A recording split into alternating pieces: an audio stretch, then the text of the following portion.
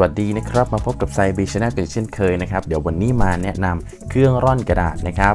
ทำได้ง่ายๆที่บ้านเลยโดยใช้กระดาษ A4 1 แผ่นนะครับ เริ่มจากการพับครึ่งแบบนี้เลยนะครับ พับครึ่งของกระดาษลงมาแบบนี้เลยนะครับปึ๊บปึ๊บนะครับอ่ารีดให้เรียบครับ พลิกออกมาครับอ่าส่วนหัวพับเข้ามาหาตรงกลางแบบนี้นะครับ ซ้ายขวาเลยนะครับ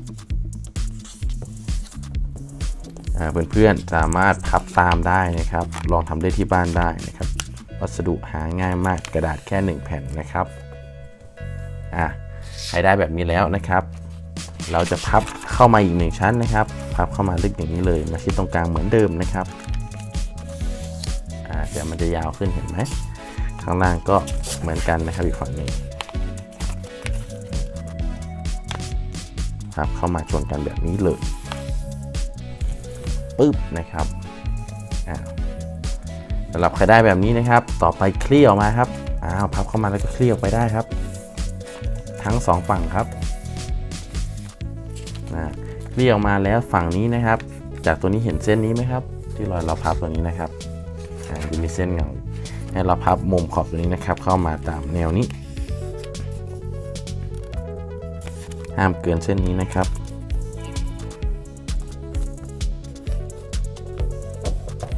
รีดให้เรียบนะครับ ประมาณนี้เลยทำแบบนี้ทั้งสองฝั่งนะครับ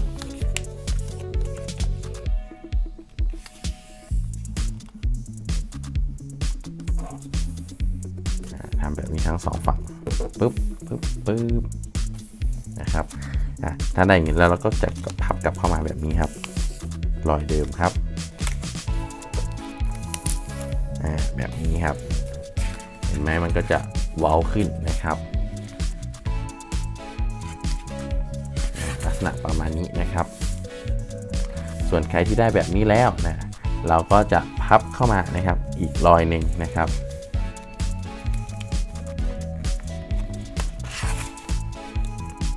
อีกชั้นหนึ่ง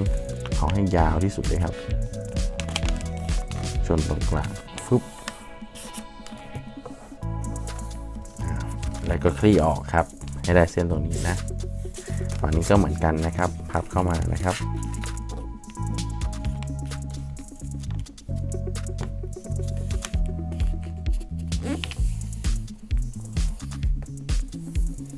และกดคลี่ออกครับตัวนี้ให้เหมือนเดิมนะครับ ต่อไปนะครับ เราจะมาดูที่ส่วนหัว เราก็จะพับลงมาครับ วัดเส้นแบ่งครึ่งตัวนี้นะครับ ประมาณลงมาจากตรงข้อต่อนี้ประมาณ1เซนเนาะหัวอยู่เส้นตรงกลางนี่นะครับปุ๊บอ่าเดี๋ยวเราก็พับหัวกลับขึ้นไปครับ ให้มันเลยขึ้นไปนิดนึงนะครับ เราจะได้หัวแหลมๆนี้ครับต่อไปแล้วก็จับมาพลิกลงไปแล้วก็พับขึ้นครับ จรวดเราจะหัวแหลมมากจัดให้มันเท่าๆกันฟึบ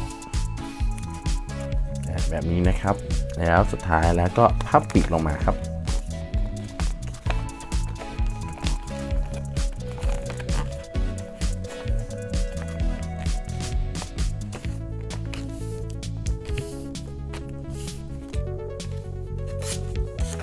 ทั้งสองฝั่ง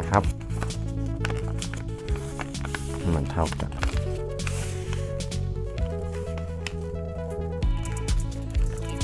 ถ้าปีกไม่เท่ากันถามว่าร่อนได้ไหมก็ร่อนได้ครับ แต่ว่ามันจะไม่ค่อยไปข้างหน้า มันจะวนออกซ้ายออกขวานะครับ เพราะฉะนั้นพับให้มันเท่ากัน